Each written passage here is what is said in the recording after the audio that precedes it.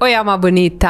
Olá, ser de luz! Tudo bem com você? Espero que sim. Eu tava aqui pensando, sabe? Se você tá passando por um momento muito difícil, muito desafiante, não torne isso mais difícil ainda. Para de reclamar, use esse tempo que você tem para focar em possíveis soluções. E se não tiver solução, solucionado tá. Bora começar o dia com muita alegria, com muita felicidade, porque o mundo já tá cheio de gente mal amada e mal humorada, então bora a gente ajudar aí a energia do planeta. E conta uma coisa deixa aqui nos comentários. Você tem dificuldade em pedir desculpas? Hum, tem gente que não pede desculpas por nada nesse mundo, mesmo sabendo que tá errado. Gente, preciso confessar que no passado, antes do meu processo de autoconhecimento, eu era assim. Mas por que, que será que isso acontece? O que, que será que passa na cabeça dessas pessoas? E o mais importante, o que significa para você não receber esse pedido de desculpas? Será que tem que faz tanta diferença assim você receber esse pedido de desculpas? Vamos tentar entender todas essas situações afinal, a única pessoa que a gente pode mudar somos nós mesmos. Para de querer ser o alecrim dourado e achar que vai mudar os outros, porque você não vai mudar. Por que, que é tão importante se entender em toda a história quando você está lidando com alguém que simplesmente não te pediu desculpas? Quanto mais claro você tiver sobre todas as possibilidades, mesmo sem saber exatamente o que passa na cabecinha daquela pessoa que te magoou, então vamos, vou te mostrar aqui algumas possibilidades, tá? Mas o foco aqui é entender que você, você mesmo, eu, você, nós somos as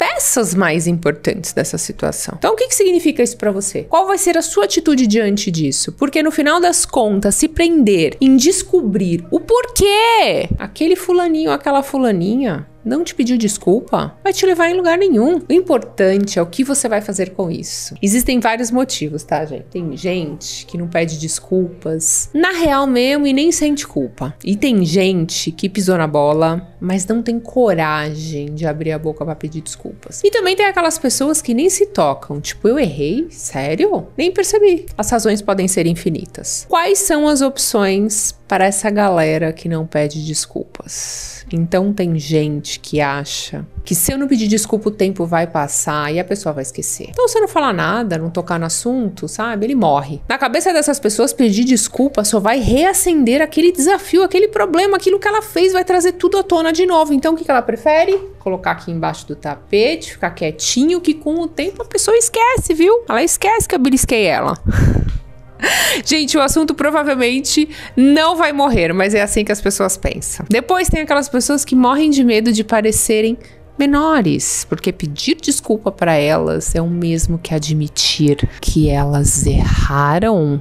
E isso na cabeça dessas pessoas, desses alecrins dourados, o os torna inferiores, mesmo sabendo que errar é humano, mas essas pessoas têm uma necessidade absurda de parecerem perfeitas. E reconhecer um erro é praticamente insuportável. Eu errei. Oh my god, não. Tem quem fuja de desculpas por medo das consequências, né? Então elas imaginam que se elas vierem pedir desculpa, você vai exigir alguma coisa, alguma retratação, pode ser financeira, ou alguma coisa que vai exigir seu tempo, sua energia. O medo do que pode vir depois do pedido de desculpas faz com que ela nem sonhe em pedir desculpa para você. E tem aqueles que preferem simplesmente ignorar o erro ou fingir que nada aconteceu, porque se eu fizer de conta que nada aconteceu, tá tudo bem. O problema é que quem foi prejudicado, meu amor, não esquece tão fácil, né? E outra opção, tem gente que coloca a culpa ainda em você, né? Tem gente que faz com que você ache que não mereça receber pedido de desculpa porque a culpa foi sua. Então, por exemplo, você chegou cinco minutos atrasado, a pessoa te humilhou, acabou com você, mas na cabeça dela a culpa é sua, ninguém mandou você atrasar. Totalmente desapro... desproporcional, né? Mas tudo bem. E ainda tem a gente que acha que você não merece ter um pedido de desculpa, porque ela fala: por que, que eu vou me desculpar? Essa pessoa também erra, essa pessoa já errou, essa pessoa erra demais, já errou comigo, por que, que eu vou pedir desculpa para ela? Hum, elas se acham superiores e por isso elas têm o direito de agir de qualquer forma, sem precisar se retratar, porque na cabeça dela você já errou com ela, você erra com outras pessoas e ela sabe disso. Mas a pior de todas, no meu ponto de vista, é a que não pede desculpas porque sabe que vai repetir repetir o erro, hum, estão num processo de involução e não de evolução. São aquelas pessoas que pedem desculpas. Não pedem desculpas porque no fundo elas sabem que elas vão fazer de novo. Por exemplo, uma traição. Eu não vou admitir que eu traí ela porque assim, ai, no fundo,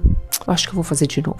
E elas desviam a conversa, diz que você que tá vendo pelo em ovo, que você pode estar tá errada e não peçam, não pedem desculpas. Então faz sentido pedir desculpa se a pessoa tem intenção de repetir o erro? Então percebe como é interessante que tentar entender as razões pelas quais alguém não pediu desculpas para você é bem maluco? Pode ser não, eu tenho certeza que você nunca vai chegar numa resposta definitiva. Eu só tô te mostrando aqui várias opções ou possibilidades, mas ninguém consegue ler a mente do outro. Ainda não tenho minha bola de cristal. Então, muitas vezes, gente, a própria pessoa nem sabe o que passa na cabeça dela. Como que ela vai saber que ela precisa te pedir desculpas? Quando você entende tudo isso, você ganha formas de lidar com essa situação. E aí, o que você vai fazer com essa situação? Perdoar? Calma. Perdoar não significa que você faria o que a pessoa fez ou concorda com o que a pessoa fez ou que tá tudo bem o que essa pessoa fez com você. Ninguém tá falando isso. Perdoar é mais sobre você, é sobre você se libertar dessa situação, se desconectar energeticamente disso que aconteceu e seguir em frente, porque se você se conecta com a sua situação, isso te traz emoções negativas, você joga mais isso pro universo e recebe mais. Você pode decidir perdoar a pessoa, mesmo que ela nunca te peça desculpas. Ou aceitar que você nunca vai entender o porquê que ela fez aquilo. E a ciência comprova que perdoar faz muito bem para o cérebro e para o corpo. A neurociência já mostrou isso em várias pesquisas. Tem uma pesquisa da doutora Charlotte dos Estados Unidos, e no estudo dela, ela pediu para os participantes dessa pesquisa lembrarem de uma situação muito ruim. Quando eles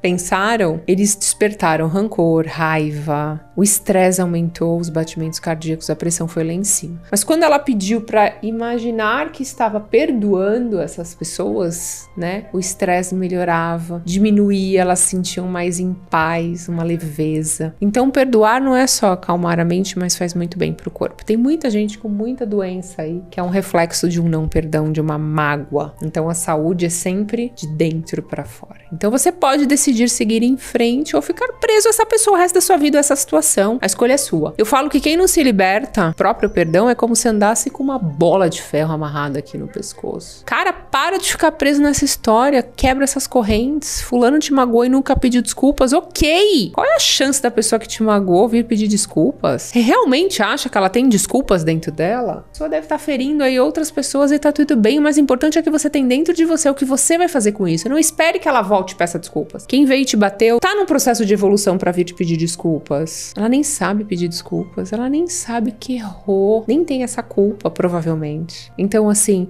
não busque o porquê. Não vale a pena gastar energia e tempo focando nisso. O melhor caminho é entender o que é bom para você. Eu vou seguir nessa direção, deixando esse passado para trás certo? Cada um tem um desafio. E compreender que eu erro, você erra, todos erramos. Estamos na terceira dimensão, onde tem erros e acertos. Mas importante é você cuidar da sua vida sem ficar amarrado a essa energia dessa pessoa. É reconhecendo seus sentimentos sem julgar, trabalhando essa raiva, essa mágoa e soltando e ir se perdoando. Lembra, aceitar o erro não significa que você concorda mas é simplesmente soltar as amarras que te prende a essa, essa situação, a essa pessoa. Então eu acho que o perdão com você mesmo é muito importante. Você não precisa imaginar se perdoando a pessoa, mas você. Porque o perdão é um presente que você dá para você mesmo, não o outro. Mas se você acha que mesmo assim você não tá conseguindo, você pode fechar os olhos e imaginar que você tá perdoando essa pessoa e fazer esse exercício até você perceber que, nossa, eu não sinto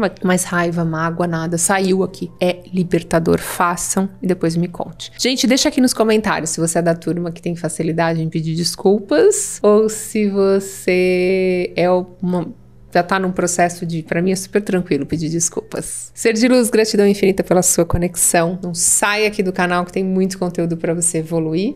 Até a próxima.